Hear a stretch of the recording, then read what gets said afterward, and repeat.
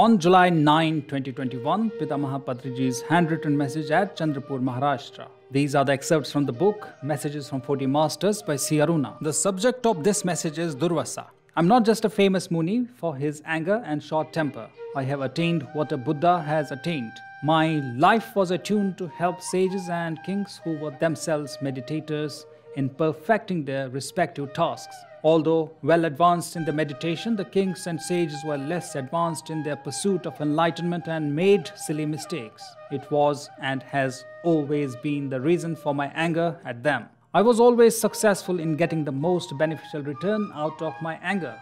Somehow, people who were writing the history of my age were always absent when I was calmly teaching my kings and sages, but always present at times of my anger. Tell me, how can a man always be angry and be nothing else? Does he lack all other emotions? I too had a family, a wife, and children. I lived with them, worked with the officials and kings, meditated with other sages and disciples, and lived a very normal life.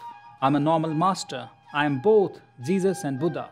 My family life, my wife, my children, and chiefly my disciples are all notes of my love. My adventures in spiritual life were my teachings of nirvana to my disciples, sages, and kings. The time of Jesus was different.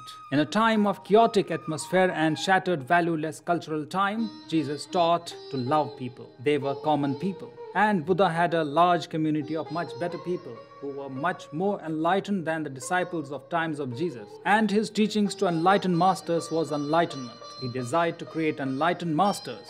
And my teachings were more attuned towards basic peaceful living, taking life as a challenge and living in every challenge peacefully. I see such a conducive atmosphere around you people.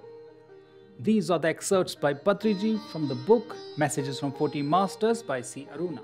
For more updates, keep watching PMC English, like, subscribe, and don't forget to share this video.